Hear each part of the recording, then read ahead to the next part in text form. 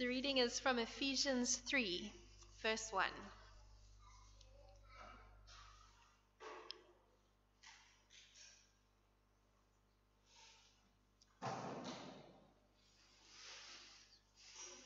Ephesians 3, verse 1.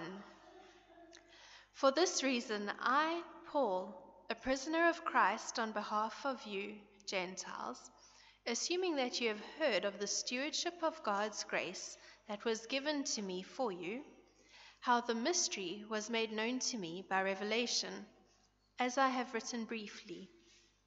When you read this, you can perceive my insight into the mystery of Christ, which was not made known to the sons of men in other generations, as it has now been revealed to his holy apostles and prophets by the Spirit. This mystery is that the Gentiles are fellow heirs, members of the same body, and partakers of the promise in Christ Jesus through the gospel. Of this gospel I was made a minister according to the gift of God's grace, which was given me by the working of his power. To me, though I am the very least of all the saints, this grace was given to preach to the Gentiles the unsearchable riches of Christ, and to bring to light for everyone what is the plan of the mystery hidden for ages in God, who created all things, so that through the church the manifold wisdom of God might now be made known to the rulers and authorities in the heavenly places.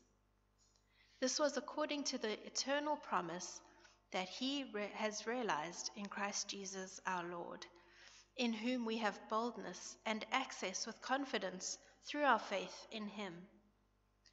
So I ask you not to lose heart over what I am suffering for you, which is your glory. Amen.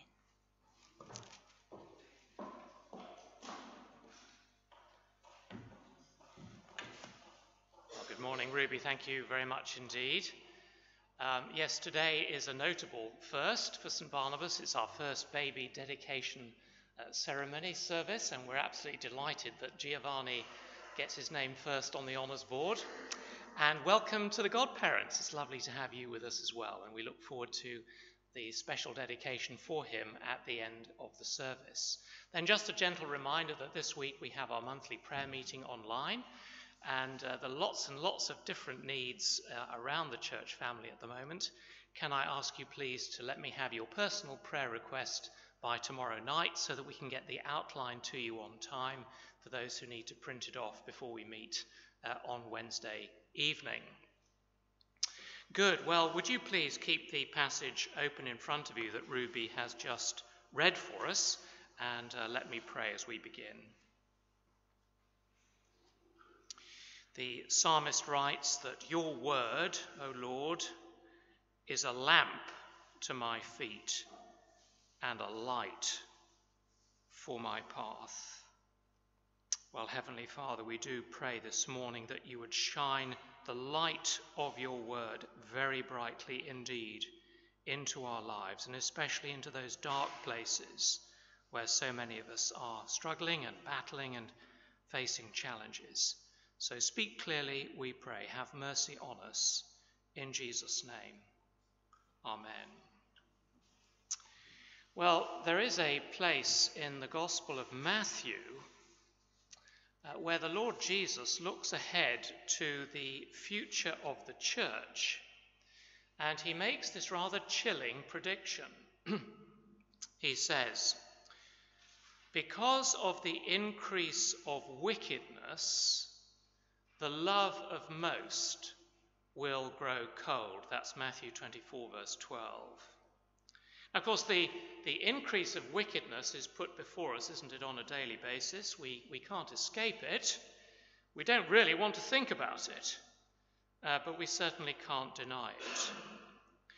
But what is perhaps rather less obvious is the fulfillment of the second half of Jesus' prediction in that verse, namely that because of the increase of wickedness, the love of most will grow cold.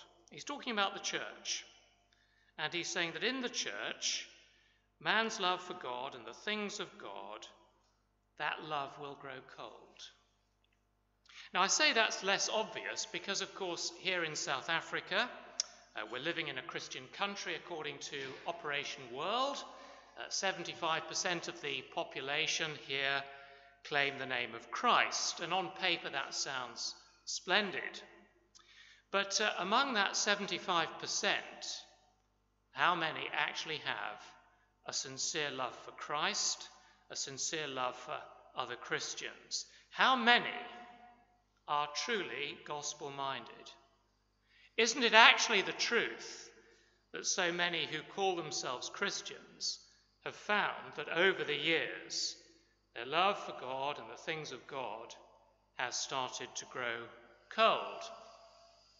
A couple of years ago, um, a Chinese missionary was visiting a friend of ours, and uh, this missionary noted a striking contrast between the spiritual temperature here compared to his part of China. So, for example, uh, he noted that here in the West, people frequently arrive late for church. But in China, he says people arrive half an hour early. He also noted that in the West, uh, people take Holy Communion, the, the Lord's Supper, in a rather sort of mechanical, uh, empty way. But in the part of China that he comes from, when people take communion, when they take the Lord's Supper, they do so with tears, they weep. Now, of course, that's only anecdotal evidence. But I do think it confirms what some of us feel intuitively uh, that while the spiritual temperature is definitely rising in parts of the third world, in parts of the West, and even here in Cape Town, the spiritual temperature, I suggest, is cooling. Now, of course, yes, there are many, many sincere Christian people in Cape Town who are very much on fire for Christ. Yesterday it was my great privilege to spend the morning with our good friends down at the United Evangelical Fellowship in Fish Hoek.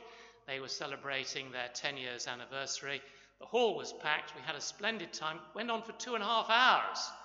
And uh, the pastor, Pastor John Broom, aged 80, was obliged to sing a solo. I was rather glad I got let off that last year. But anyway, there are people there who are thoroughly on fire for the Lord Jesus Christ. But as wickedness continues to accelerate in South Africa, I think that the warning Jesus gives about spiritual coldness and spiritual complacency is a serious warning for us. And in our passage this morning, Paul is inviting us to check the spiritual temperature of our own hearts by testing our attitude to church. Now, how do I get that from the text? Last week we saw Paul was encouraging the Christians in Ephesus to embrace their new status as a holy temple in which God lives by his Spirit. And he's in the text, he's about to pray that they'll do that when he suddenly foresees a potential problem. So come with me to verse 1. Verse 1 Paul says, For this reason, I, Paul, the prisoner of Christ Jesus, for the sake of you Gentiles. He's about to pray. He checks himself and he doesn't actually pick up on the prayer till verse 14, where he continues, For this reason I kneel before the Father. Now, I point this out to you because verses 2 to 13 are a digression. Uh, if you like, Paul is taking us off down a little side road. Why the side road? Well, Paul realizes that all of a sudden his imprisonment might raise quite a few eyebrows in the congregation. Well, of course it would, wouldn't it? I mean, imagine you arrive here next Sunday morning and uh, at 9:30 Mariano steps into the pulpit and he says, "Well, I'm really sorry, but during the week uh, all the elders of the church were arrested They've been given extremely long prison sentences in Pollsmoor. I doubt you'll see them for some considerable time. Now, at that moment, what would you be thinking? Some of you might be thinking, well, I wonder if the elders at St. Barnabas were the real deal. Was their ministry from God, or were they actually frauds? And what does that mean for us? Now, that is the situation at this point in the letter. Paul is writing from prison in Rome, and he's concerned that the Christians in Ephesus might be discouraged. And that, of course, is why he says in verse 13, I ask you, therefore, not to be discouraged because of my sufferings. So you see, he wants to reassure these Christians that he's not in prison because of some hideous moral failure or because of God's judgment on his ministry. He's not. Rather, the very reason he's there is because of his obedience to Christ. And that's why he describes himself in verse 1 not as a prisoner of Rome, but as the prisoner of Christ Jesus. And then he explains what he means. And by way of defense, he, he tells them how he was commissioned for ministry. So, what he's doing here is he's answering the unspoken question how do we know we can trust you? So, we're going to start by looking very briefly at Paul's answer to that unspoken question. But then I want to spend most of our time thinking about the implications of Paul's answer for us here this morning. By the way, um, this is actually one of the most important passages in the New Testament on the significance of the church. And it means, I think, that the way we respond to Paul's message will actually tell us whether our own hearts are hot or cold towards Jesus. So, first, then, how did Paul receive his ministry? Uh, in the passage, Paul says God gave him two things as gifts of God's grace. He actually uses that phrase twice, doesn't he? Uh, once in verse 2 and then again in verse 7. And when we put those two things together, we begin to see why the church is so very precious in the sight of God, and therefore why it ought to be very precious to us as well. So, first, in verses 2 to 6, Paul says he was given a mystery. Now, if you cast your mind back to our very first study in Ephesians, you'll remember that we saw uh, that the word mystery in the Bible has got a very specific meaning. When you and I think of a mystery, we think about a secret. But when the Bible talks about a mystery, uh, it's talking about new information from God. Uh, it's something we wouldn't actually know unless God Himself told us. And here, Paul says in verse 3 that the mystery was made known to him by revelation, and that the mystery is about Christ, verse 4. So Paul was given fresh information about the work of Christ. What on earth was it? He tells us in verse 6, he says, The mystery is that through the gospel, the Gentiles are heirs together with Israel, members together of one body, and sharers together in the promise of Christ Jesus. And you might say, how on earth is that new information? Uh, after all, uh, the Old Testament says that God always planned to bless not just Israel, but all the nations of the world. Uh, that, after all, was in his promise to Abraham, wasn't it, right at the beginning? And uh, Isaiah says that Israel was meant to be a light for the nations. All of that is true. But you see, the Old Testament did not say that Israel's privilege as the kingdom of God on earth would be terminated, and that Israel in the Old Testament would be replaced by the church. Now, that was new information. That was the revelation that Paul received from God that the church replaces Israel as the focus of God's activity on earth, with Jew and Gentile both enjoying equal access to God on exactly the same terms. And now all of God's plans and purposes for the world are channeled through the church. Now, we're going to say more about that in a moment. But notice, secondly, in verse 7, Paul says he was also given a commission. He says, I became a servant of this gospel by the gift of God's grace. Now, what that means is that the apostle didn't suddenly uh, wake up one morning and say, You know, I've been considering a number of different possible career options, and I think I really would like to be an apostle. That was not how it happened. God gave Paul this new information about the church as the focus of all God's plans, and then God sent Paul out to tell the world. Verse 9 says that he was sent out to make it plain to everybody. Now, you see, if God hadn't done that, we wouldn't actually have the 13 letters from Paul in the New Testament, which tell us more about the church than anything else. That's how Paul received his ministry. He received it from God, and it was precisely because he'd been so faithful to his ministry that he ended up in prison. Okay, all of that is introduction. What does this mean for you and me this morning? In particular, what can we learn from this passage about the church? Let me suggest there are three vital implications.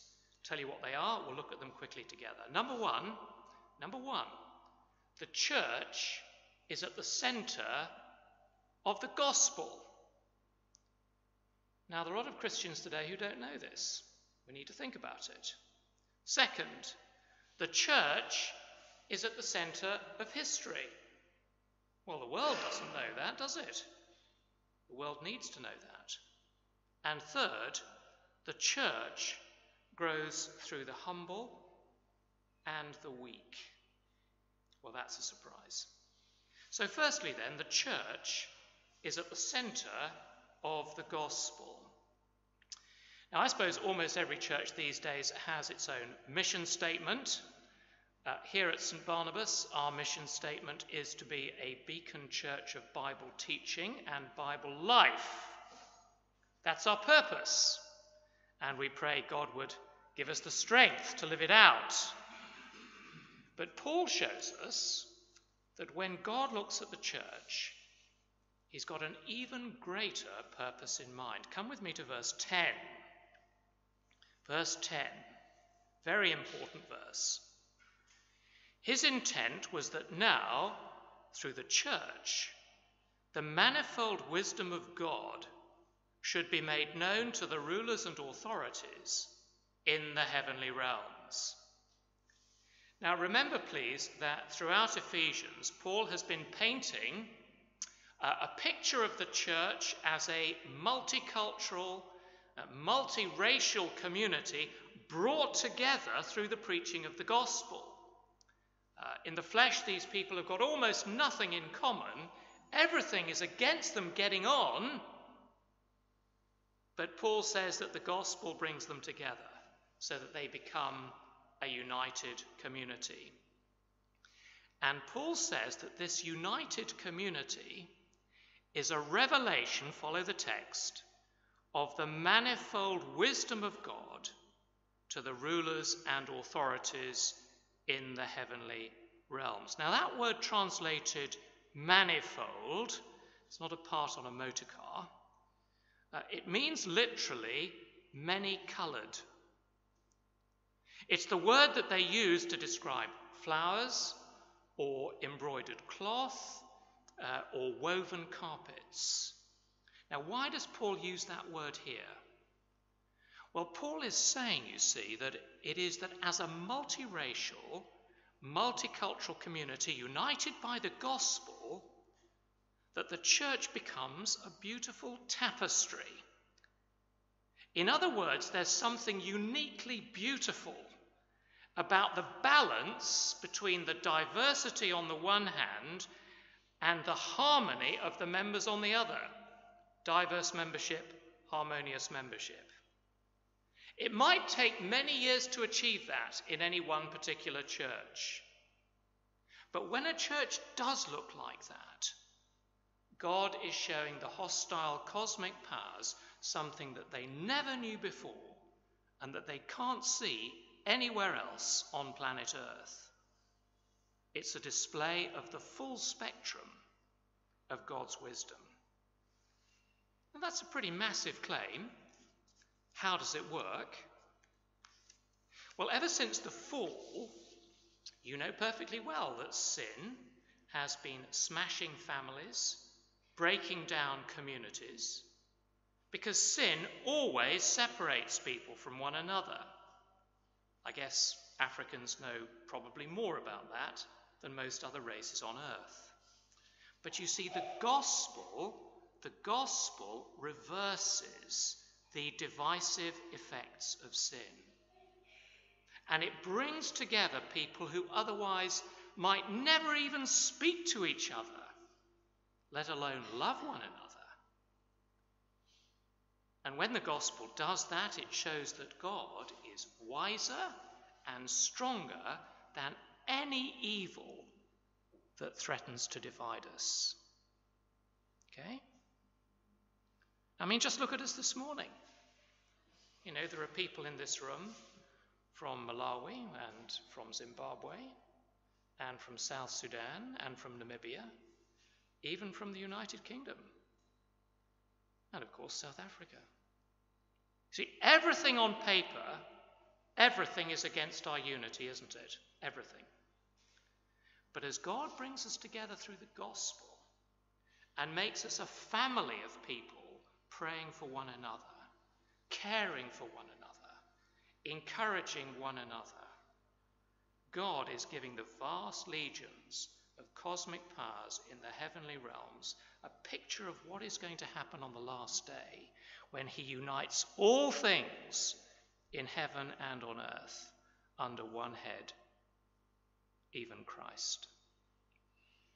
As one of the commentators puts it, the church is God's pilot scheme for the reconciled universe of the future. You've got an anticipation of the future going on right here in this room this morning. So, whenever the hostile powers look at the church of Jesus, they actually know they're defeated. They know that. Now, of course, they haven't given up yet. That's why the Apostle Paul is in prison. There will be setbacks, there'll be suffering along the way, but the outcome is not in doubt. So, friends, the church is at the center of the gospel, and you and I need to take that to heart this morning. You know, I guess in most of our circles we've had it drummed into us, haven't we, that uh, becoming a Christian is a personal matter. And of course, yes, that is true at one level. But it's not the whole story. It's not. Because when God saves us from our sin, he also saves us from our solitude. And he brings us into this unique, multicultural, multiracial family. Now, some of us might have had experiences of church that were less than fortunate and uh, perhaps were rather hesitant about getting involved. But Paul knows that. He's not naive. I mean, most of his letters, if you think about it, in the New Testament, are written to churches that were in some kind of trouble and desperately needed sorting out. I mean, imagine being asked to become a member of the church at Corinth. I mean, what a shambles that was. But you see, listen to me very carefully here. Because what verse 10 means is that I cannot be uninvolved in the life of a local church and claim to be a Christian at the same time. I can't. If I've been truly reconciled to God through the gospel, it means I've been reconciled to my brothers and sisters in the church, and God is calling me to demonstrate that by my active involvement in the life and welfare of the church family. Well, there's a lot to think about there, but we must hasten on. Because our second uh, implication or application this morning is that the church is at the very centre of history. Now, there are plenty of people today, uh, you may know them, who think of the church as purely a human institution. Uh, they think it was man's idea, and they think that, quite frankly, it's past its sell by date. It's irrelevant. This passage will not allow us to say that. Look at verse 11. Verse 11. Michael hinted at this earlier. Paul says that God's plan for the church is according to his eternal purpose. Now, please, will you think very carefully about this with me? Because it means that God planned the church before he created the heavens and the earth. Uh, Gillian and I grew up in uh, England and for the last few years we were there, we were living in a part of England where there are plenty of churches that are very old indeed, going back before the Middle Ages. Uh, we went into a number of churches that were more than a thousand years old. And uh, whenever a tourist uh, visits the United Kingdom and visits one of these splendid buildings, maybe one of the great cathedrals, uh, Canterbury, Winchester, or wherever it is, a typical comment will be while I was in that building, I felt really close to God. People will say that. Somehow, kind of the age and the, the architecture of the building made God seem a bit more real to them. Paul says, a thousand years, that's nothing. If you really want to understand the church, You've got to actually look back before the creation of the world. Because that is when God laid the foundation stone for the church. Well, someone will say, okay, I hear you, Simon. But surely the church has outgrown its usefulness.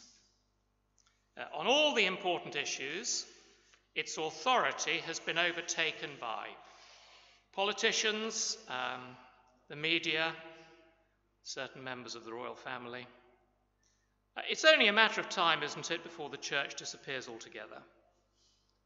Well, again, this passage will not let us say that. Now, we've got to do a little bit of detective work here, so I'm going to make your fingers do some work. Do you remember that Paul said that uh, God revealed a mystery to him? And uh, Paul uses that word mystery four times in the text. And the point is that right at the center of the mystery is the church. Okay, so we're going to be detectives for a minute or two. Outside the letters of the Apostle Paul, and I think it's just two references in the book of Revelation, the only other place where we find the word mystery in the whole of the Bible is in the book of Daniel. And what we find there helps us to understand what Paul is talking about here. So, won't you please travel with me to the book of Daniel, chapter 2 in the Old Testament? If you need some navigational help, start by finding Isaiah.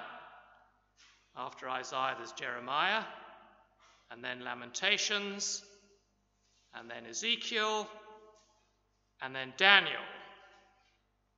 Daniel chapter 2.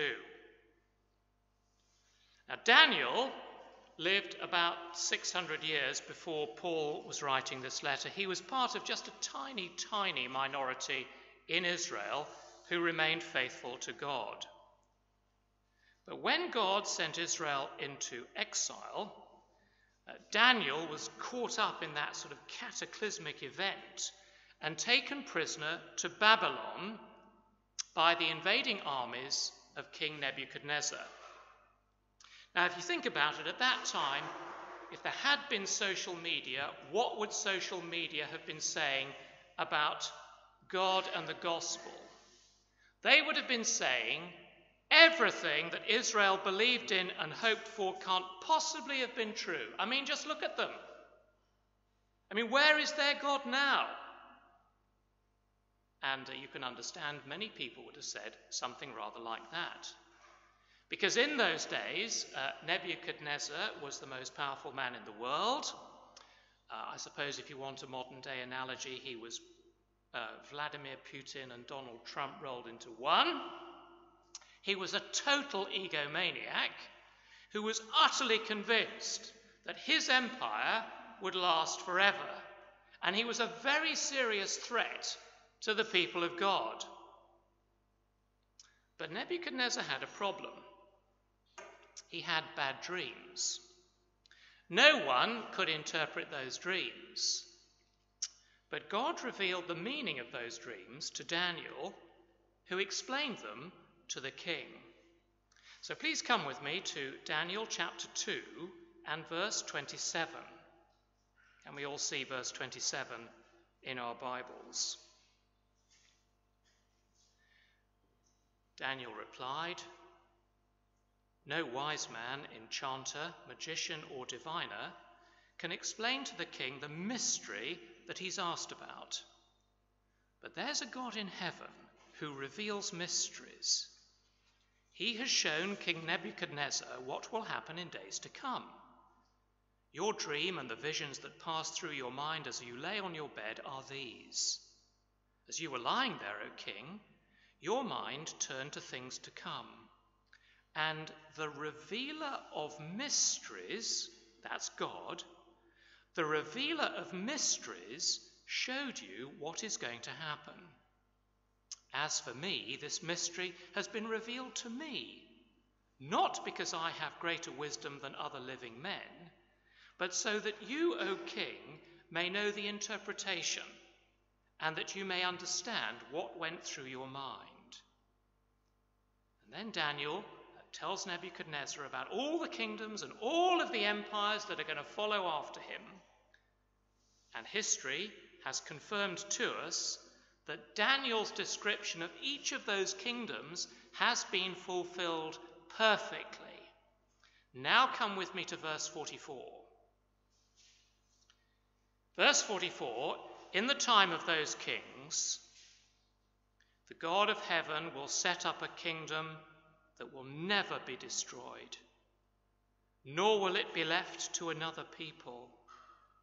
It will crush all those kingdoms and bring them to an end, but it will itself endure forever. And 600 years later, Jesus arrives in Galilee and he announces that he is God's king and he has come to set up God's eternal kingdom. And when Jesus says that, he is talking about the church. And Jesus says that the future of the church is so secure that the gates of hell will not prevail against it. Was Jesus wrong about that? Many people think he was. In the 2,000 years since Jesus walked the earth, many people have predicted the imminent collapse of the church. Hasn't happened yet, has it? What has happened? Well, what's happened is that although Jesus began with just 12 disciples, Today, there are 2.5 billion Christians on planet Earth. So, in spite of all the Nebuchadnezzars that have tried to wipe out the church in places like China, North Korea, Afghanistan, Pakistan, there are more Christians actually in those countries today than there have ever been before. And that, you see, my friends, is because the church is at the center of history. And though there are going to be times, many times, when the church appears to be weak and irrelevant, God is working through all the events of human history to the moment when Jesus will return and take the church that he's purchased with his blood to be with him forever in a perfect new creation. Can I ask you this morning, what is your attitude to church? Do you think of the church as weak and irrelevant? Or do you see it as the centerpiece of God's plans? Do you see the church as dull, ugly? Or do you perhaps see the church as the bride of Christ, purchased by his precious blood and infinitely precious to him?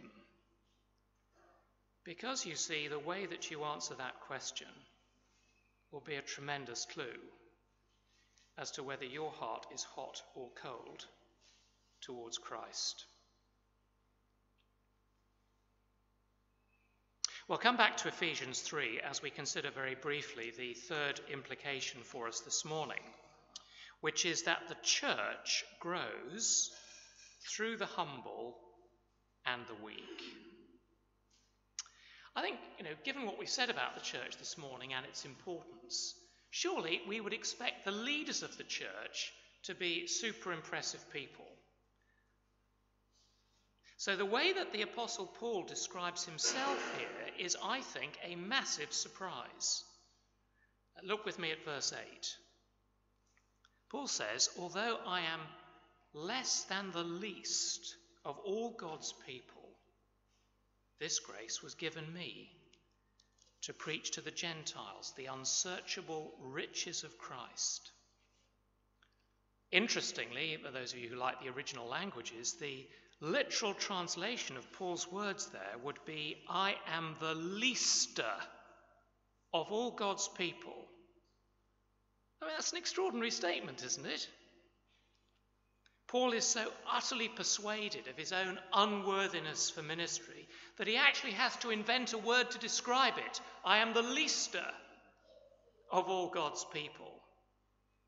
And that isn't false modesty on Paul's part. As a proud young man, he had persecuted the church. And won't you please remember that he wasn't commissioned by Christ Uh, after an exhaustive search for young men with outstanding Bible knowledge and great organizational ability. No, he wasn't. Paul was commissioned by Christ with his face in the dust of the Damascus Road.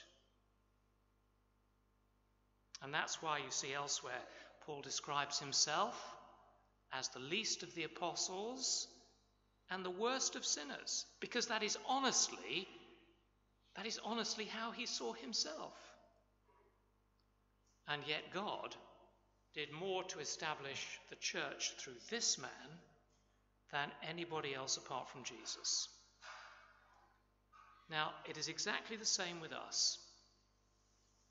The lesson for us, particularly those training for pastoral ministry, is that all true gospel ministry springs from a deep humbling of the servant. There's actually no place in gospel ministry for human pride. D.T. Niles was a missionary to India in the 20th century, and he was once asked to define Christian ministry. This is what he said It's about one beggar telling another beggar where to find bread. Think about that. Christian ministry is about one beggar telling another beggar where to find bread. So it's not the charismatic leader with terrific stage presence. It's not the entertainer who's terrific at telling stories. It's not the academic who spends all his time in the library.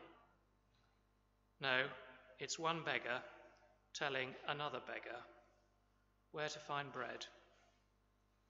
See, friends, it's only when we know that we are beggars that we start to be useful in God's church. Because you see, until we get to that point, there'll be so much of me that people won't see Jesus. They won't actually see the unsearchable riches of Christ. And isn't it true, friends, that so much of what stands in the way of the church becoming the beautiful tapestry that displays God's wisdom is actually our own refusal to see ourselves as God sees us. Isn't that right? So may God open our eyes this morning so that we might see ourselves as we truly are sinners, shaved, saved by sheer grace, nothing else, so that we might value the church more than we do, and that we might truly love one another as God has loved us. Let's pray.